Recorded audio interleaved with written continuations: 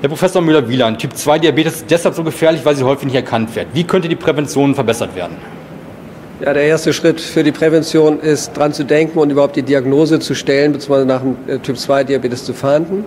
Äh, fangen wir da an. Patienten, das wissen wir, die zum Beispiel äh, Komplikationen haben, wie eine koronare Herzerkrankung. Ähm, da kommt auf jeden Patienten, der sagt, ich habe einen Diabetes, wenn wir gezielt gucken, ein Patient, der betroffen ist, aber es nicht weiß. Also die Dunkelziffer ist 100 Prozent. Wenn noch keine koronare Herzerkrankung äh, vorliegt, dann gilt es natürlich, die äh, Menschen zu identifizieren, die ein hohes Risiko haben. Dazu gehören natürlich die Menschen, die eine positive Familienanamnese haben, also wo ein Typ-2-Diabetes bei Vater, Mutter oder Verwandten ersten Grades aufgetreten ist. Natürlich sind es die Menschen im Alter über 40, die übergewichtig sind und oder einen anderen weiteren Risikofaktor haben, wie ein hoher Blutdruck oder Dyslipidemie. Ich sage mal bewusst Dyslipidemie. Es geht nicht um das, in diesem Fall um das LDL-Cholesterin, sondern erhöhte Triglyceridspiegel und niedriges HDL-Cholesterin sind ein früher auch Indikator für eine Insulinresistenz und dass der Patient bereits ein Typ-2-Diabetes manifest hat oder eben eine Vorstufe diese Menschen gehören dann allerdings auch regelmäßig, in aller Regel mindestens einmal im Jahr kontrolliert. Ab wann sollte therapiert werden und welche Optionen gibt es überhaupt in der Therapie? Ja, grundsätzlich ist die Therapie einer Erkrankung natürlich erst, wenn die Erkrankung aufgetreten ist, so wie wir sie klassisch definieren. Und das ist nun mal, wenn der Blutzucker größer gleich 126 Milligramm pro Deziliter nüchtern ist und oder äh, falls man einen Belastungstest durchführt, der zwei Stunden Wert größer gleich 200 Milligramm pro Deziliter ist oder das HB1C größer gleich 6,5 Prozent ist. Das haben wir uns mehr oder weniger geeinigt. Wenn diese Kriterien vorliegen, dann muss behandelt werden. Die Basis jeder Behandlung sind natürlich therapeutische Lebensstilmaßnahmen. Dazu gehört aber beim Typ 2 Diabetes vordringlich zwei Dinge, nämlich erstens Gewichtsreduktion und Erhöhung der körperlichen Aktivität.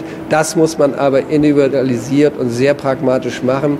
Das heißt, es bringt überhaupt nichts, einem Patienten zu empfehlen, nehmen Sie 10 Kilogramm ab und kommen Sie in drei Monaten wieder, sondern muss begleitet werden. Und vom Stoffwechsel her wissen wir, dass allein eine Gewichtsreduktion um die 5 Kilogramm, deswegen in den meisten Empfehlungen auch 5 Prozent vom Körpergewicht, bereits einen deutlichen Effekt hat auf die Insulinempfindlichkeit, auf eine Senkung der Triglyceride und damit auch Senkung des Blutzuckers. Das Gleiche gilt auch für die körperliche Aktivität. Der Patient muss nicht fünfmal in der Woche ins Fitnessstudio, sondern wir wissen, dass auch eine wesentliche Reduktion der kardiovaskulären äh, ähm, äh, Komplikationen assoziiert ist, wenn der Patient bereits wir sagen mindestens drei bis fünfmal in der Woche oder täglich eine halbe Stunde äh, forciert spazieren geht am besten eventuell noch koppelt mit mindestens dreimal der Woche einem gewissen körperlichen isometrischen Training. Die Pausen sollten nicht zu lang sein, das haben wir auch festgestellt.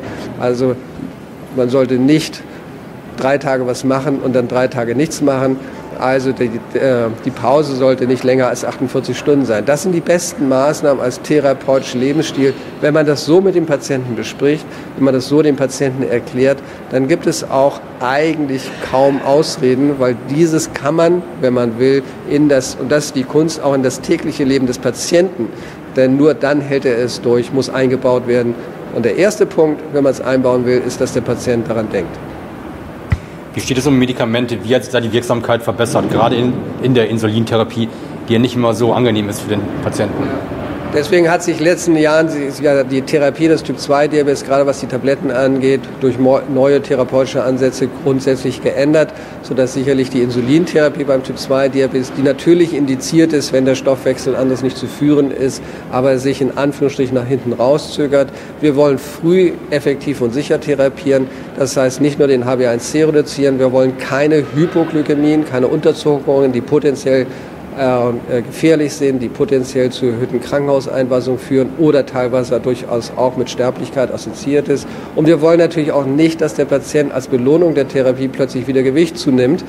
Deswegen ist im Moment die gängige Empfehlung natürlich Goldstandard mit Metformin zu beginnen und dann zu kombinieren entweder mit einem DPP-4-Hämmer und oder einem SGLT2-Hämmer. Wenn das nicht reicht, oder der Patient insbesondere übergewichtig ist, dann kommen wir zu den Therapien, die man auch injizieren kann. Dann erster Stelle natürlich die sogenannten GLP-1-Rezeptor-Agonisten, die man eben täglich oder einmal in der Woche applizieren kann. Und selbstverständlich, wenn das nicht reicht, die Kombination mit Insulin. Die Insulintherapie beim Typ 2-Diabetes in aller Regel beginnt ja, indem wir im Prinzip ein, eine basale Therapie durchführen, das Ergänzen durch ein basal oder langwirkendes Insulin. Und da hat es eben auch viele Neuerungen gegeben, die sehr hilfreich sind, weil dann wollen wir eine Therapie haben mit einem Insulin, was natürlich auch möglichst Hypoglykämie sicher ist. Das heißt, die Wahrscheinlichkeit, dass eine Hypoglykämie unter der Insulintherapie auftritt, wollen wir so klein wie möglich zu haben. Deswegen gibt es ja auch Entwicklungen und neue Präparate auf dem Markt, die ganz besonders lange wirken, ein sehr ausgeglichenes Wirkprofil haben. Und das hat sich gezeigt, auch gerade in der Nacht reduzierte Hypoglykämien haben. Insofern auch da in der Tat haben sich neue Entwicklungen in der letzten Zeit ergeben. Okay, wunderbar. Dann sagen wir vielen Dank und einen schönen Kongress. Vielen Dank.